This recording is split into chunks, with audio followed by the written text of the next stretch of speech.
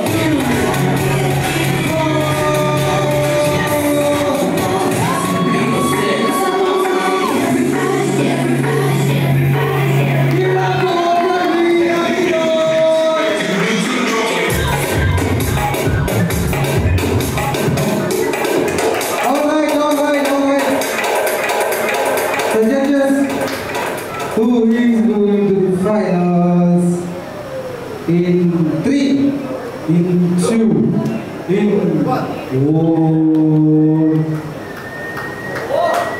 Okay, all right.